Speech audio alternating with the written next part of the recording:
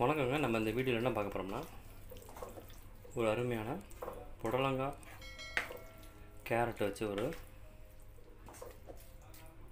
புடலங்காய் பாசிப்பருப்பு கடலைப்பருப்பு போட்டு ஒரு கூட்டு எப்படி செய்யலாங்கிறத இந்த வீடியோவில் பார்க்கலாம். குயிக்காக இமிடியேட்டாக யார் வேணால் செய்யலாம். இந்த மாதிரி சாதத்துக்கு கூட்டுக்கு எது வேணாலும் சாப்பிட்டுக்கலாங்க. குயிக்காக இருக்கும். இமிடியட்டாக செஞ்சிடலாம். எப்படி செய்யலாங்கிறத இந்த வீடியோவில் பார்க்கலாம் வாங்க. அதுக்கு தேவையான பொருட்கள் என்னங்கிறத பார்த்துருங்க. அந்த மாதிரி புரளங்காய் வந்து நல்லா கழுவி பொடிச்சா கட் பண்ணி வச்சுக்கோங்க. அதே மாதிரி கேரட்டையும் இந்த மாதிரி பொடிச்சா கட் பண்ணி ரெடியாக வச்சுக்கோங்க. அடுத்து இந்த மாதிரி ஒரு பெரிய வெங்காயத்தை இந்த மாதிரி பொடிச்சா கட் பண்ணி வச்சுக்கோங்க. தக்காளியும் இந்த மாதிரி பொடிச்சா கட் பண்ணி வச்சுக்கோங்க. அடுத்தது வந்து தேங்காயும் பச்சை மிளகா கொஞ்சம் ஜீரகம். எல்லாத்தையும் இந்த மாதிரி கொஞ்சம் குறை குறைன்னு நல்லா அரைச்சி வச்சுக்கோங்க. தேங்காய் அதையும் அரைச்சி ரெடியாக எடுத்து வச்சுக்கோங்க. அடுத்தது மாதிரி கடாய் ஆன் பண்ணிங்க கடாய் சூடானதும் ஒரு ரெண்டு டேபிள் ஸ்பூன் அளவுக்கு எண்ணெய் சேர்த்துக்குங்க. எண்ணெய் நல்லா சூடாகட்டும். எண்ணெய் நல்லா சூடானதும் அதில் வந்து ஒரு காட்டி ஸ்பூன் அளவுக்கு ஜீரம் சேர்த்துக்குங்க. ஜீரம் நல்லா வெடிச்சு வரட்டும் பொரிஞ்சு ஜீரம் நல்லா பொரிஞ்சு வந்ததும் அதில் வந்து இந்த மாதிரி நாலு பல் பூண்டை வந்து இந்த மாதிரி தொலியோடு நல்லா இடித்து அதை சேர்த்துக்குங்க. ஒரு பச்சை வாசனை போகிற வரைக்கும் கொஞ்சம் வதக்கி விடுங்க.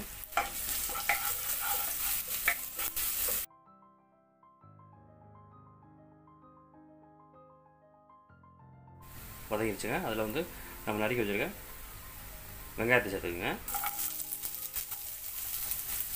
வெங்காயத்தை சேர்த்துட்டு வெங்காயம் கொஞ்சம் நல்லா வதங்கட்டும்.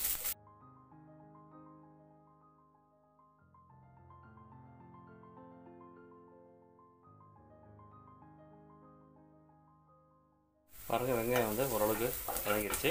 இந்த ஸ்டேஜில் நம்ம நறுக்கி வச்சுருக்க புடலங்காயம் கேரட்டையும் சேர்த்துக்குங்க. சேர்த்துட்டு அதையும் கொஞ்சம் நல்லா வதக்கி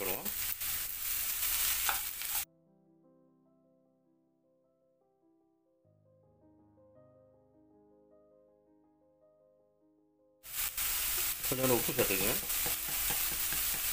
அப்போ தான் சீக்கிரம் வதங்கும் உப்பு சேர்த்துட்டு நல்லா மிக்ஸ் பண்ணிவிடுங்க கொஞ்சம் மூடி போட்டு ஒரு அஞ்சு நிமிஷம் வேக விடுவோம். மிதமான சூட்டில்.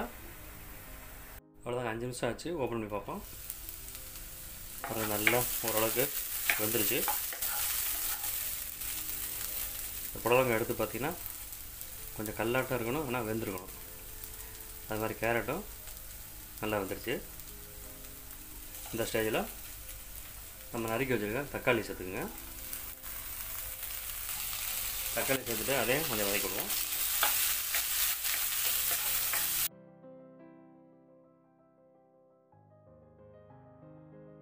தக்காளி வேகிறதுக்காண்டி கொஞ்சம் மூடி போட்டு வேக விடுவோம். தக்காளி வேகட்டும் பாருங்கள் அஞ்சு நிமிஷம் ஆச்சுங்க. ஓப்பன் பார்ப்போம். பாருங்கள் நம்ம போட்ட தக்காளியும் ஓரளவுக்கு வதங்கிடுச்சு நல்லா. நல்லா வதங்கிடுச்சு. இந்த ஸ்டேஜில்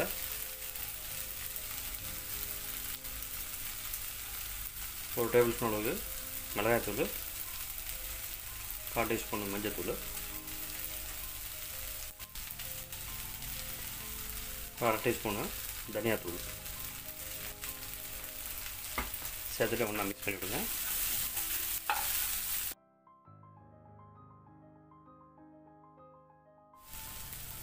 அதே மாதிரி ஏற்கனவே நான். கடலைப்பருப்பு ரெண்டு டேபிள் ஸ்பூன் அளவுக்கு.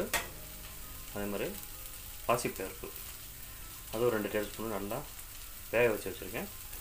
அதை அதில் சேர்த்தலாம் தண்ணியோடய சேர்த்துருங்க. சேர்த்துட்டு ஒன்றா மிக்ஸ் பண்ணிடுங்க. பார்த்திங்கன்னா கடலை பருப்பு வந்து முழுசு முழுசாக இருக்கணும். ஆனால் பார்த்திங்கன்னா நல்லா வெந்திருக்கும். இந்த ஸ்டேஜில் வச்சுக்கோங்க. அப்போ தான் நல்லா இருக்கும் கடிக்கும் போது சூப்பராக இருக்கும். இந்த மாதிரி போட்டு மிக்ஸ் பண்ணிக்கோங்க. இதை கொஞ்சம் மூடி போட்டு லைட்டாக ஒரு கொதி வரணும் கொதி வரப்போ காட்டுறேன். ஓப்பன் பண்ணி பார்க்கலாங்க. பாருங்கள் நல்ல ஒரு கொதி வந்து நல்லா ஒரு கொதி வந்துருச்சு. சூப்பராக இந்த ஸ்டேஜில் நம்ம அரைச்சி வச்சுருக்க அந்த தேங்காய் விழுது அதில் சேர்த்துலாம்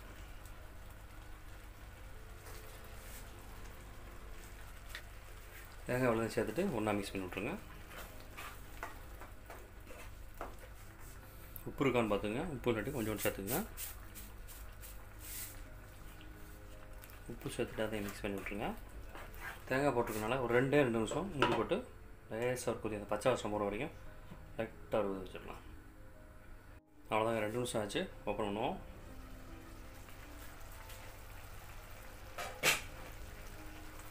பாருங்கள் எல்லாம் வந்து சூப்பராக கலர்ஃபுல்லாக ரெடி ஆச்சு. அவ்வளோதான் ரெடி ஆச்சுங்க. இது வந்து லைட்டாக தாளித்து ஊற்றணும் அது எப்படிங்கிறத பார்க்கலாம். தாளிக்கிறதுக்கு இந்த மாதிரி கடாய் வச்சுங்க அதில் ஒரு டேபிள் ஸ்பூன் அளவுக்கு எண்ணெய் ஊற்றிங்க எண்ணெய் நல்லா காயட்டும். எண்ணெய் நல்லா காஞ்சிடுச்சு அதில் வந்து கடுகு உளுந்து பொருள் வச்சுக்கலாம். கடுகு நல்லா வெடித்து வரட்டும். கடுகு நல்லா வெடிச்சுங்க அதில் வந்து கால் டீஸ்பூன் சீரகம் ஒரு மூணு குண்டு மிளகா சேர்த்துங்க அந்த நசுக்கி போட்டுக்குங்க அப்புறம் கருவேப்பிலை சேர்த்துக்குங்க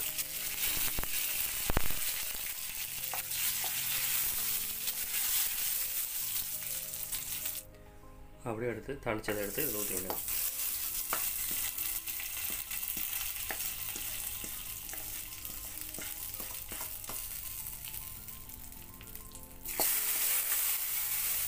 ரெடி ஆச்சுங்க. ஃபைனலாக கொஞ்சோண்டு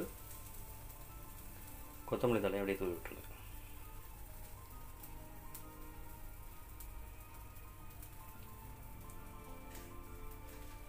முடிஞ்சுங்க.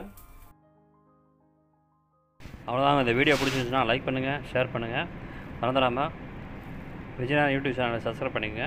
கூடயே பெல் பட்டனை ப்ரெஸ் பண்ணிக்கிட்டேன்னா அப்போ ஒரு வீடியோ உங்களுக்கு நோட்டிஃபிகேஷனில் வந்துகிட்டே இருக்கும். தேங்க்யூ ஃபார் வாட்சிங் நன்றி வணக்கம்.